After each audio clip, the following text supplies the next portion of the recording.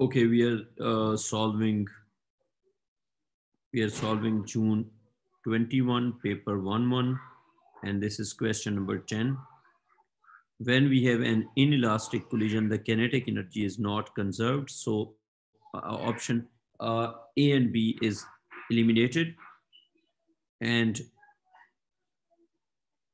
it is not conserved, not conserved, A and B eliminated because in, in, in when, whenever we get an inelastic collision in that, the kinetic energy is uh, not conserved.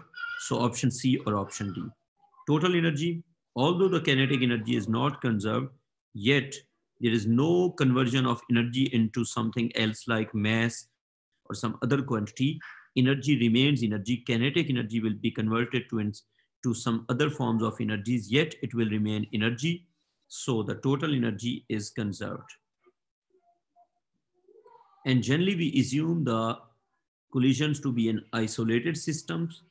So the momentum will be conserved. It is assumed to be conserved because we assume that the collision is in an isolated system. So I will go with option C. Assuming that the collision is isolated and obviously there is no conversion of energy into other forms. However, if we get a nuclear reaction, then energy, total energy may not conserve, but in common collisions, when there is no nuclear reaction, the total energy remains conserved.